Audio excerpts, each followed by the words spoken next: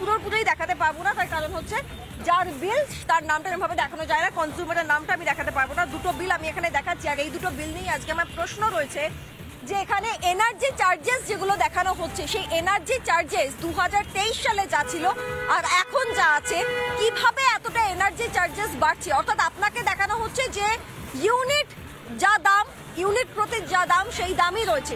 সেই দামে কোনো পরিবর্তন হয়নি। আপনার মনে হচ্ছে না, একই তো দাম রয়েছে।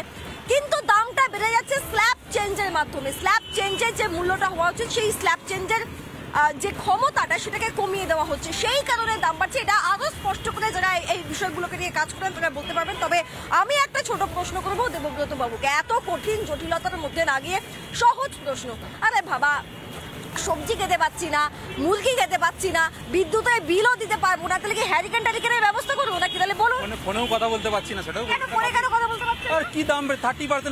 কিসের কিসের ফর্টি পার্সেন্ট নেট ব্যবহার করতে পারছি না। কোন না না না কোন নেট বেড়ে যেতে বলতে পারছি। আরে কোন নেট কোন নেট শুনি কোন বিভিন্ন বিভিন্ন সার্ভিস প্রোভাইডার যারা আছে কোন বিভিন্ন- সার্ভিস প্রোভাইডার বিভিন্ন সার্ভিস আপনি যে আপনি যে সার্ভিস প্রোভাইডারকে ব্যবহার করেন সে যদি দাম বাড়িয়ে থাকে আপনি বাতিল করুন। আপনি অন্য কাছে যান। সরকারি সার্ভিস প্রোভাইডার ব্যবহার করেন তারপরে প্রশ্ন করুন এবার বিদ্যুতের বিলে আসুন। হ্যাঁ অবশ্যই আছে। পরিষেবা ভালো পেতে হলে দেখুন আপনি যে বয়সে পড়াশোনা করেছেন একটা স্কুল লাইফ তো গেছে তখন তো হ্যাঁ বামফ্রন্ট সরকার ছিল তো। হ্যাঁ তখন ওই হ্যারিকেন মোমবাতি এগুলো দেখতে পেতেন তো? আমরা মাঝে মাঝে জ্যোতি মানে আপনি বলতে চাইছেন যে এখন আর দেখতে পাওয়া যায় না? চায় না এটাই হচ্ছে পরিষেবার উন্নতি। দুদিন আগে পুলিশ গুলি করেছে কোথায় জানেন? না দেখুন দু একটা দুদিন আগে পুলিশ গুলি করেছে। আপনাদের তো যাবতীয় কোথাও কোথাও যদি এখন লাইন ফল্ট হয় কোথাও যদি তার ছিঁড়ে পড়ে যায় তার জন্য তো বোঝাই চলে। দিনের পর দিন ওখানে সমস্যা। লোকে রাস্তায় নেমে প্রতিবাদ করছে। পুলিশ পরিস্থিতি সামলাতে না পেরে পুলিশ পুলিশ পরিস্থিতি সামলাতে না পেরে গুলি চালাচ্ছে কারণ ওখানে দাবিটাই ছিল লোডশেডিং এ দু দিনের পর দিন আগে চলে যেত। আমরা স্কুল লাইফে আমরা যখন পড়াশোনা করতাম আমাদের হ্যারিকেন হলে দয়া করছেন?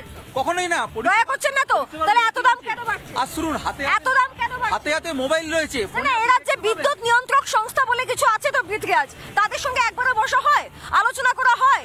কীভাবে স্ল্যাব চেঞ্জ করে এভাবে দাম বাড়িয়ে দেওয়া যায়। কারণ ওই যে মদন মিত্র একটা কথা বলেছিল না, যে ঘনিষ্ঠভাবে চিনি কিন্তু ঘনিষ্ঠ সম্পর্ক নেই। মুখ্যমন্ত্রীর সাথে এখন বিদ্যুৎ মন্ত্রীর ঠিক এইরকম একটা রিলেশন হয়ে গেছে, যে ঘনিষ্ঠভাবে চিনি কিন্তু ঘনিষ্ঠ সম্পর্ক নেই। কারণ আমরা দেখতে পেলাম যে মানিক চকে যখন লোডশেডিং হলো, তখন পুলিশ গুলি চালালো। এবং পরবর্তীকালে দেখতে পাচ্ছি, যখন রাজ্য বিজেপির তরফ থেকে একটা ঘোষণা করা হচ্ছে যে ভিক্টোরিয়া হাউস যাওয়ার জন্য, যখন একটা প্রতিবাদ জানাবার ব্যবস্থা করা হচ্ছে, তখন এই পুলিশই আবার দৌড়ে চলে যাচ্ছে হাইকোর্টে গিয়ে বলছে, না, আমরা এই, এই- মানে এই আন্দোলন করতে দেবো না। এবার বিষয়টা এটা হয়ে দাঁড়াচ্ছে মুখ্যমন্ত্রী আবার সেইভাবেও বলেছে যে আমরা আমার আমার সাথে কোনো অবগত নেই আমি কিছু জানি না।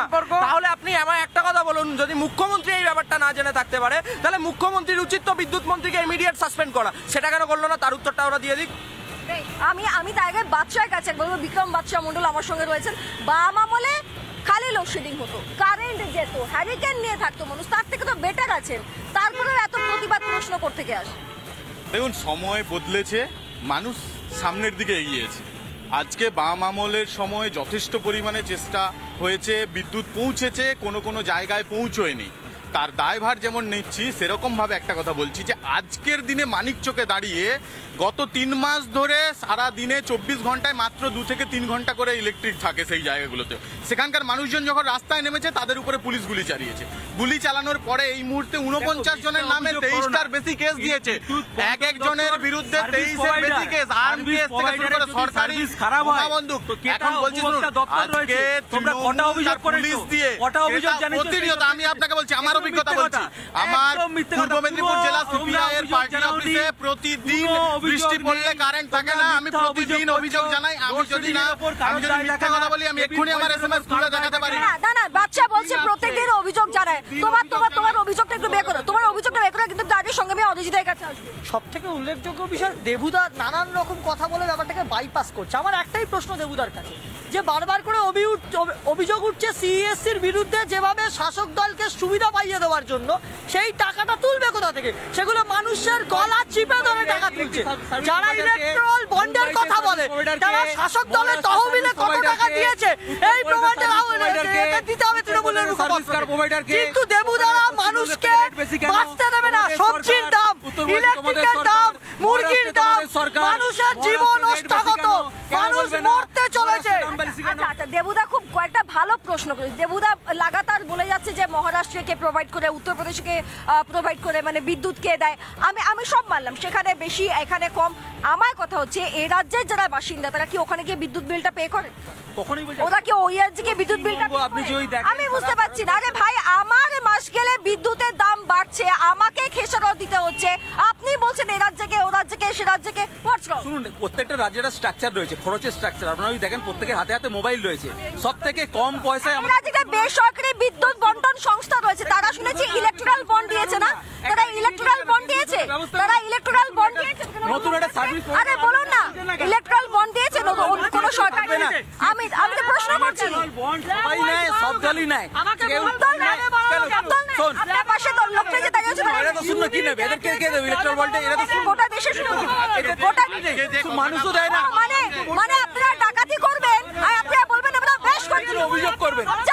অভিযোগ করে লাভ নেই। এসব অভিযোগ করে রাজ্য সরকার করে রাজ্য প্রতিনিয়ত রাজ্যের প্রতিটি কোনায় প্রতিদিন এই বিদ্যুতের সমস্যা হচ্ছে তার উপরে প্রতিনিয়ত বিদ্যুতের বিলের দাম বাড়ছে। আজকে অভিযোগের কথা বলছি আমি এই কয়েক মাসের মধ্যে আমি একশোর বেশি করেছি এক সেকেন্ড, এক সেকেন্ড, আমি- দাদা আপনি বিদ্যুতের বিল পে করেন তো?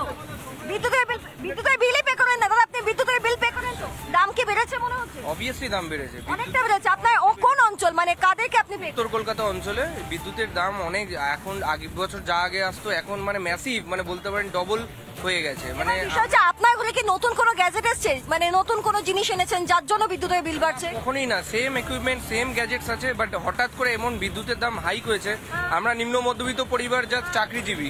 বাট এটা আমাদের পক্ষে সার্ভাইভ করা ভীষণ টাফ অবভিয়াসলি এইটাই বলতে চাইছি যে সার্ভাইভ করা কঠিন হচ্ছে এরকম ভাবে যদি বিদ্যুতের বিল বাড়তে